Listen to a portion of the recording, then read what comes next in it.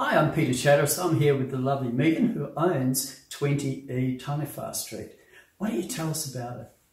Well, when we started looking for a home, we went through this subdivision because we really like this area. Mm.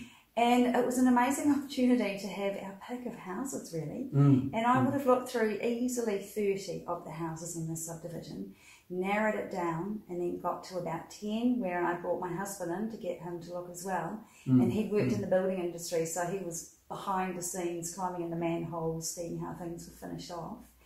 And this was the one that we fell in love with because it's got all day sun, it's got sea views, and it's really quiet. It's down the end of the driveway.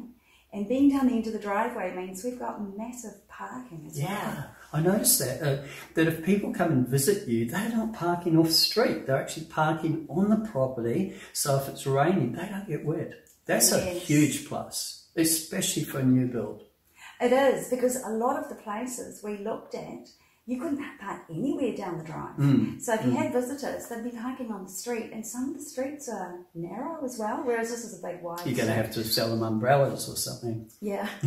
so we've had six tradesmen's vehicles down here, truly. Six of them. Yeah. And you've also got a two-car garage, so you- and also room for bicycles or a water toy or something like that. So you've got a huge amount of vehicle space. But not only vehicle space, you've got a lot of other storage space. I've noticed in this home.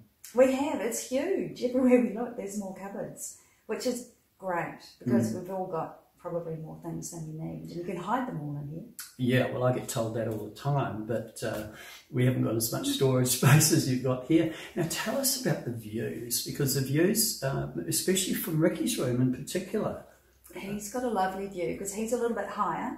That's what we liked about the house too, is it's on four different levels and it's quite lovely going up and down. So he's on the very top level and he actually sleeps with a Roman blind up because he likes to look at the lights hmm. out over the sea. And it's lovely and private because we hmm. don't have any houses really looking in on us on those sides of the house. It's really private. So he can have the blind up and not need to worry about anybody staring at him. Yeah, for a new build in Wai-O-Taki Bay, it's, it's interesting, isn't it? Because you've lived in this place, you've, uh, you've added things to this place, so you've actually added value from over the new builds. So someone who's coming into this property, it's going to get an extremely good buy. It's quiet, it's peaceful. You know, it's a haven from the fast life or maybe a job. It is. I still can't believe that we're selling really because we spend so much time looking, and this truly is the best house in the whole suburb, I think. Value for money, what you get here is quite amazing, and it is so sunny.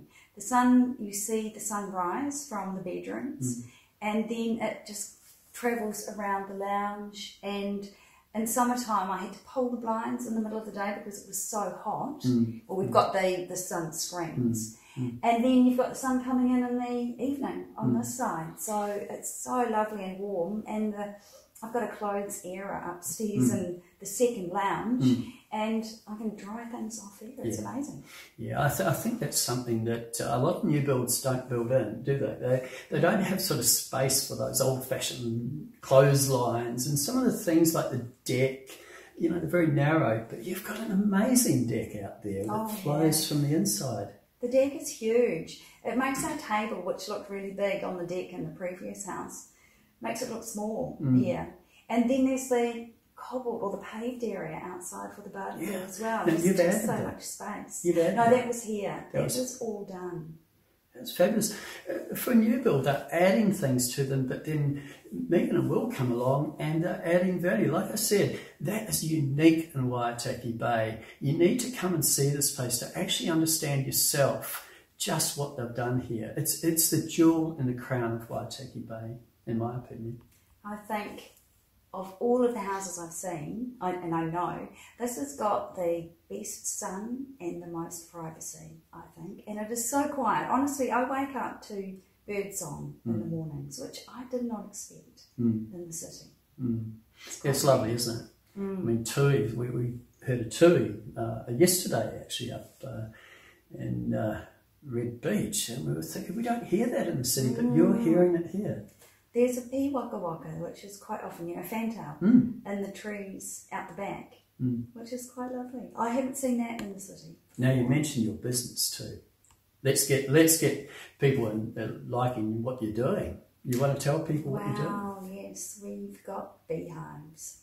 So we're producing manuka honey mostly, but some bush honey. And the beehives are located at the moment in Matamata. So it just makes no sense for Mm. us to have a lovely home here when well, it's working in Matamata. So you bought your dream home. You're leaving it for a dream business, and somebody is going to inherit a dream home. I wonder if that's going to be you. The only way you're going to tell, as I said, is to come along and see Megan and Will's home and see for yourself.